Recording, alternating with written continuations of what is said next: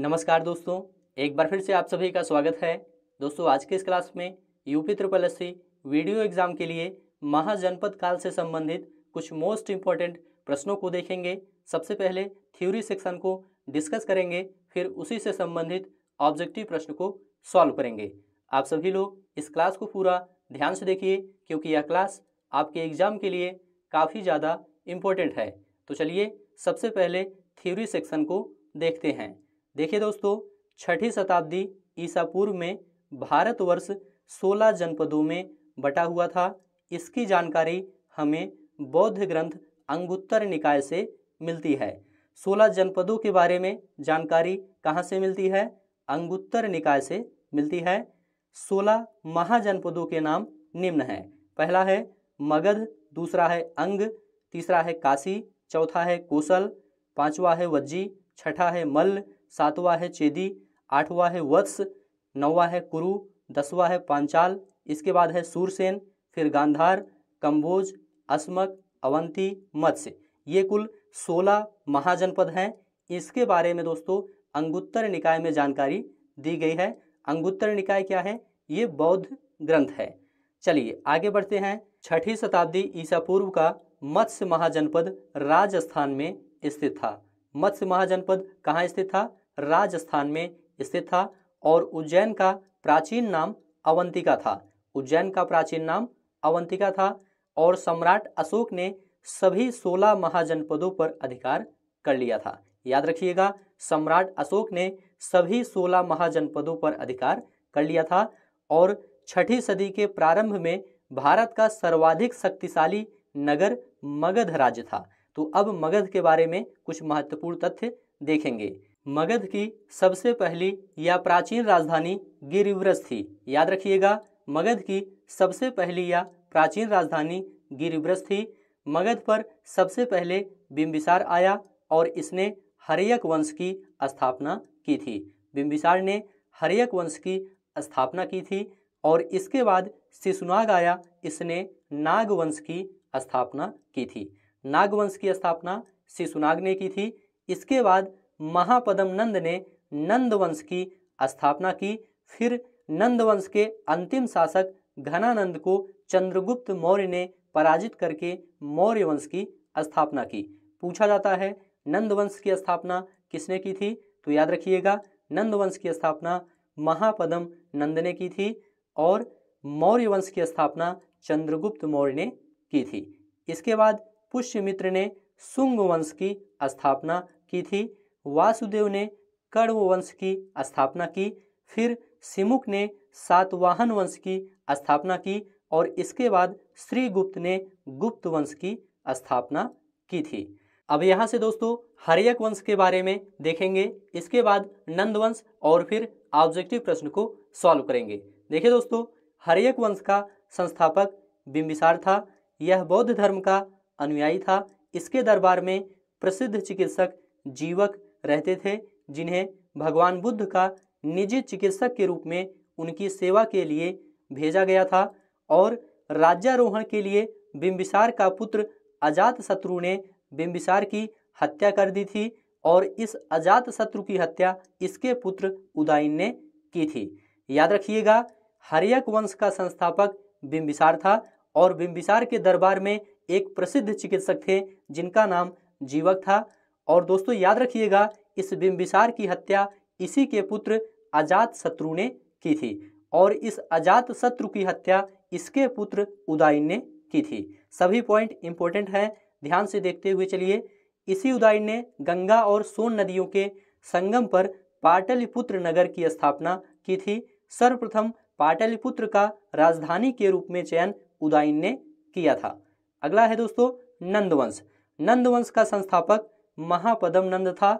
नंदवंश के समय में मेसोदोनिया के सरदार सिकंदर ने भारत पर आक्रमण किया था। सिकंदर ने पौरव राजा पोरस के साथ झेलम नदी के किनारे युद्ध लड़ा था, जो हाइडेस्पीस के युद्ध के नाम से जाना गया।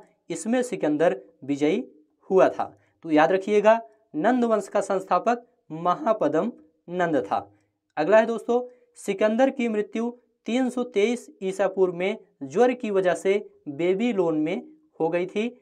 सिकंदर का समकालीन राजा घनानंद था। सिकंदर का समकालीन राजा कौन था?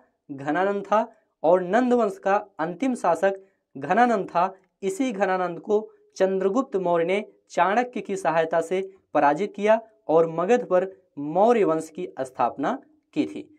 मगध पर मौर्य वंश की स्थापना किसने की थी? चंद्रगुप्त मौर्य ने की थी। और सिकंदर का समकालीन राजा घनानंद था। सिकंदर की मृत्यु कहाँ हुई थी?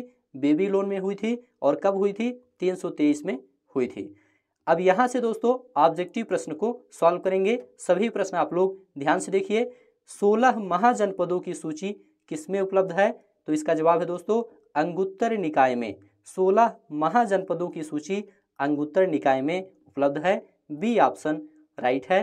प्रथम मगध साम्राज्य का उत्कर्ष किस सदी में हुआ था? देखिए दोस्तों, प्रथम मगध साम्राज्य का उत्कर्ष छठी सदी ईसा पूर्व में हुआ था। बी ऑप्शन राइट है। छठी सदी के प्रारंभ में भारत का सर्वाधिक शक्तिशाली नगर राज्य कौन था? देखिए दोस्तों, छठी सदी के प्रारंभ में भारत का सर्वाधिक शक्तिशाली नगर मगध राज्य था। डी ऑप्शन राइट है। मगध की प्रथम राजधानी कौन सी थी? तो याद रखिएगा, मगध की प्रथम राजधानी गिरिब्रज या राजगृह थी। सी ऑप्शन राइट है। छठी शताब्दी ईसा पूर्व का मत्स्य महाजनपद स्थित था। कहाँ स्थित था? तो यह दोस्तों राजस्थान में स्थित था। मत्स्य महाजनपद राजस्थान में स्थित था। बी ऑप्शन राइट है। उज्जैन का प्राचीन नाम क्या था? देखिए दोस्तों, उज्जैन का प्राचीन नाम अवंतिका था। यहाँ पर ए ऑप्शन राइट है? नंद वंश का संस्थापक कौन था? देखिए दोस्तों नंद वंश का संस्थापक महापदम नंद था। यहाँ पर ए ऑप्शन राइट है। किस शासक द्वारा सर्वप्रथम पाटलिपुत्र का राजधानी के रूप में चयन किया गया था? इसका जवाब है उदाइन द्वारा। उदाइन द्वारा सर्वप्रथम पाटलिपुत्र का राजधानी के रूप में चयन किया गया था। यहाँ पर सी ऑप्शन राइट है। किस शासक ने गंगा एवं सोन नदियों के संगम पर पाटलिपुत्र नगर की स्थापना की थी। इसका जवाब है उदाइन उदाइन ने गंगा एवं सोन नदियों के संगम पर पाटलिपुत्र नगर की स्थापना की थी। अगला है, सिकंदर एवं पोरस की सेनाओं ने निम्न में से किस नदी के आमने सामने वाले तटों पर पड़ाव डाला हुआ था? इसका जवाब है दोस्तों, झेलम नदी। बी ऑप्शन राइट है। अगला है 323 ईसा पूर्व में सिकंदर की मृत्यु कहाँ हुई थी? देखिए दोस्तों, सिकंदर की मृत्यु बेबी लोन में हुई थी। बी ऑप्शन राइट है।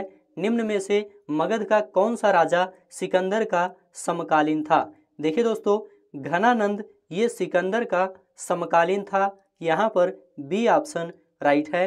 अगला है, मगध के किस प्रारंभिक शासक ने राज्यारोहण के लिए अपने पिता की हत्या की एवं इसी कारणवश अपने पुत्र द्वारा मारा गया। इसका जवाब है दोस्तों, अजात शत्रु। अजात शत्रु ने राज्यारोहण के लिए अपने पिता की हत्या की थी और इसी कारण अपने पुत्र द्वारा मारा गया था। यहाँ पर बी ऑप्शन राइट है।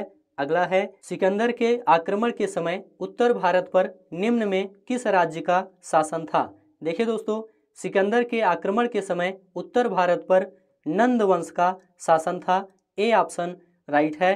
राजा बिंबिसार के दरबार में उस प्रसिद्ध चिकित्सक का क्या नाम था, जो भगवान बुद्ध के निजी चिकित्सक थे? तो इनका नाम दोस्तों जीवक था। यहाँ पर सी ऑप्शन राइट है। हरियक वंश की स्थापना किसने की थी?